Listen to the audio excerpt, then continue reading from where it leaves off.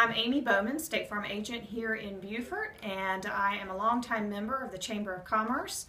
It's been a wonderful part of our business. Uh, being a member of the Chamber kind of helps leverage our business, lets us know what's going on in the community.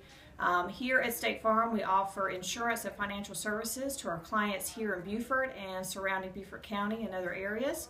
So we enjoy being a part of the community and look forward to serving our customers here now and in the future.